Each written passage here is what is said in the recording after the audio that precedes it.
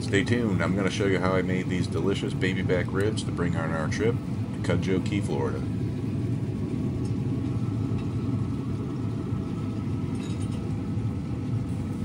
Today we're going to be cooking some baby back ribs to take on our trip. We are going to be going down to Cudjoe Key. Hopefully do some fishing if the weather's good. I'm going to spend about four days total down there. So I'm going to do a little prepping so we don't have to cook as much when we're down there. I figured I would show you guys how I prepared some baby back ribs. I picked these up from Costco and pretty nice. It looks like they already already took the membrane off of this one at least.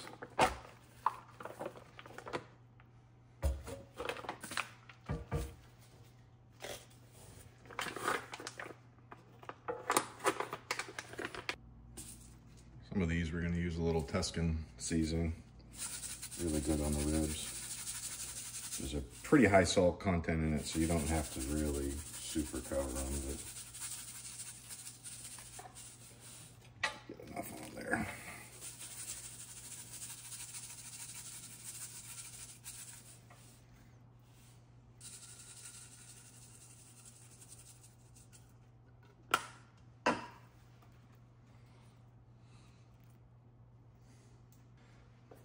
These last two I'm going to do a little bit different. I'm going to use Ranchero on one.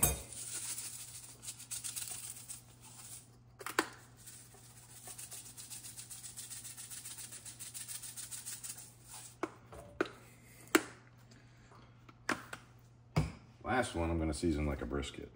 So salt, pepper, garlic. Jacobsen's kosher salt. Garlic powder.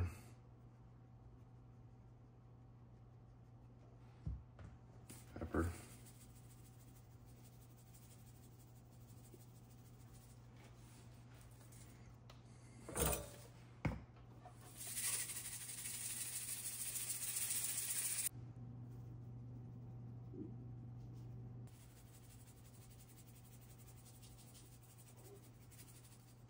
A little Texas style rib.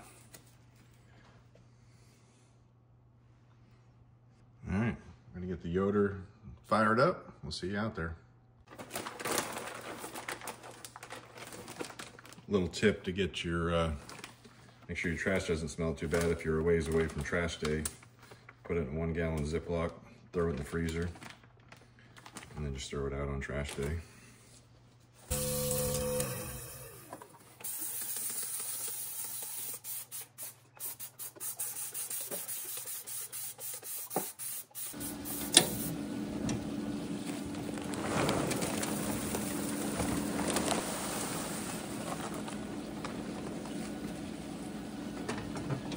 All right, let's get these on here.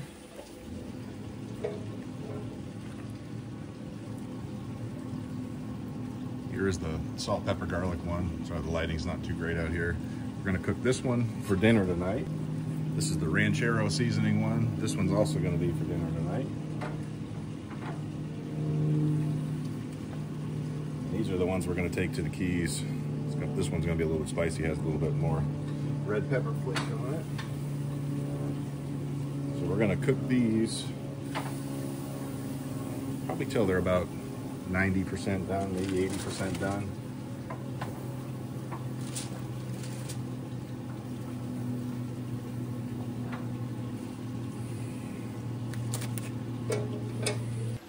All right, guys, so we've got them all on the grill.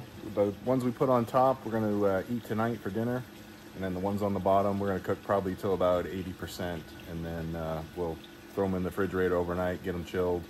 And then I'll vacuum seal them all, and then they'll be ready to go for a nice, easy meal when we get down to the Keys. Like I said, we're gonna be spending probably about four days in Cudjoe Key. Hopefully the weather's good. And we'll show you guys a little bit of fishing down there, maybe some carpet fishing. Not really sure what we're gonna get into, just depends on um, what the weather's like. So hopefully uh, we have some good weather. It's going to be the weekend before Thanksgiving until Thanksgiving Day. We're going to come back to, to Sarasota here. So.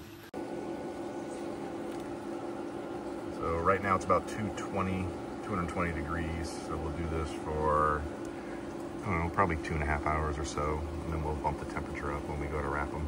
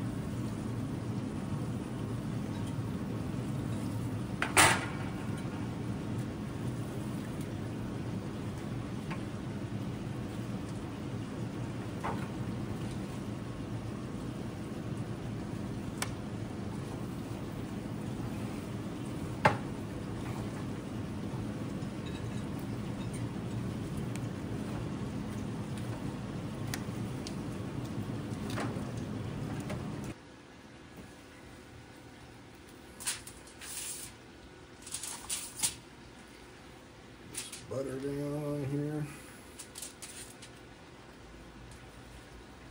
Brown sugar.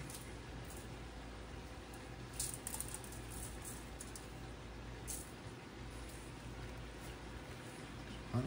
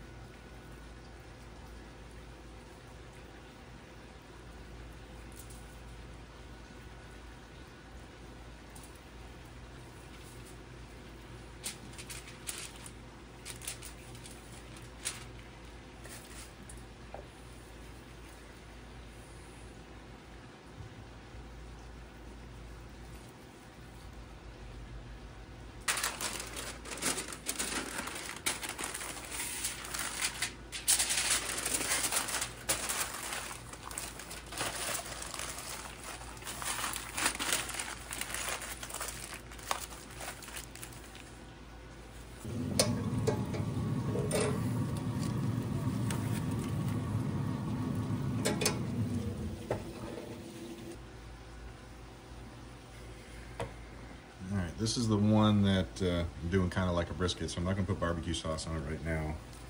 We'll see how it comes out, and then we'll, we may put some barbecue sauce on it later.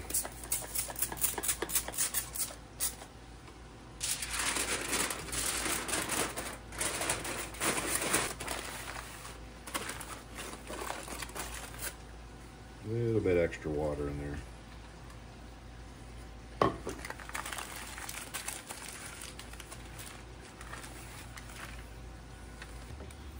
So here are the ones that we're going to take to the Keys with us.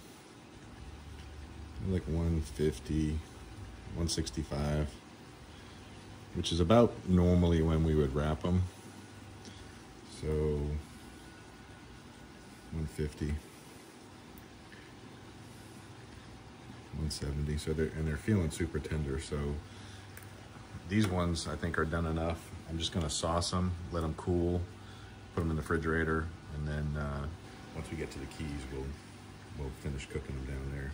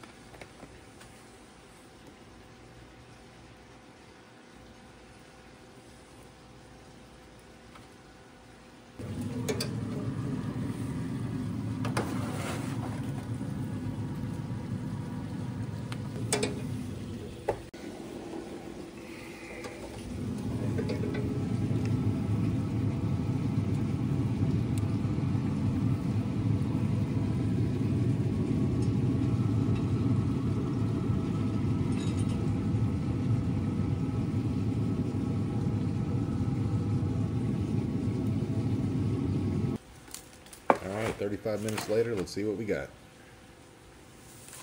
A little bit more barbecue sauce and then let them rest for about 10 or 15 minutes before slicing into it.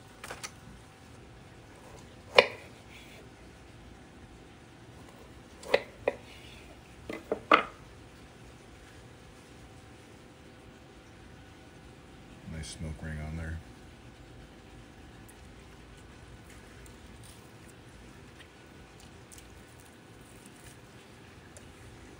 Mm. Wow. That's so good. Not pull off the bone, but super tender. Probably just the right way it's supposed to be cooked. A little bit of chew. Really good. Mm. All right, everybody, I really do appreciate you tuning in. We are going to vacuum seal up the chilled ribs that we're going to bring to Cudjoe Key. If anybody's been to Cudjoe Key and has any suggestions on anything to do or where to go, or maybe even any fishing areas, if you're a fisherman, we really would appreciate it if you leave it in the comments. Make sure you click that like button, it really does help. Leave a comment, let me know what you thought about the ribs. When you vacuum seal them, I always put two seals in it, especially if we're going to sous vide them later. It does help. Until next time, thanks for watching.